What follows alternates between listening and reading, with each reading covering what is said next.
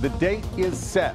We now know when Brandon Vandenberg and Cory Batey will be back before a jury. The second Vanderbilt rape trial will happen this fall after a grand jury handed down new indictments in the case. News Channel 5's Chris Cannon is in the newsroom. And Chris, not everybody's happy with the date.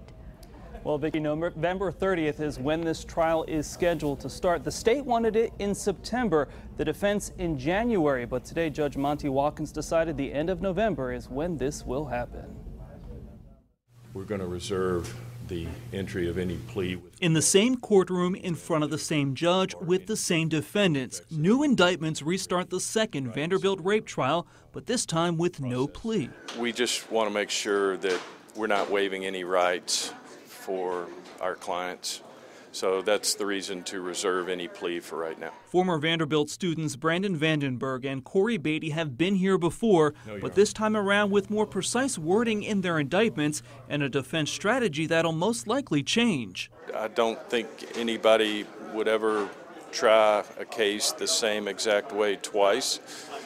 And so I, th- I think for us, we'd like the opportunity to review the transcript um, have the opportunity to see what we need to tweak. We've uh, got to get the uh, trial transcript prepared. In the courtroom, the defense argued for a trial date after September because Vandenberg has a new legal team. Obviously, we would like as much time as we can get to adequately prepare a defense for Mr. Vandenberg. We feel like the court will give us that.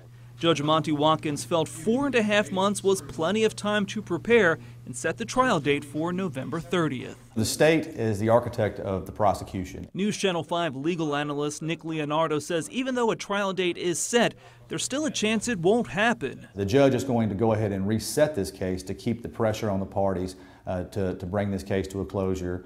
Uh, and also if there's any kind of uh, settlement negotiations to keep the pressure on them to continue those discussions. But for now, November 30th is the day the trial starts again in this courtroom.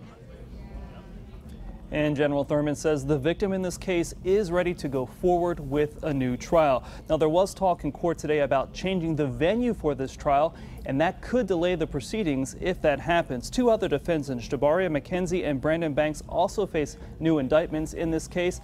Their case will be tried separate from this one. In the newsroom, Chris Cannon, News Channel 5 HD.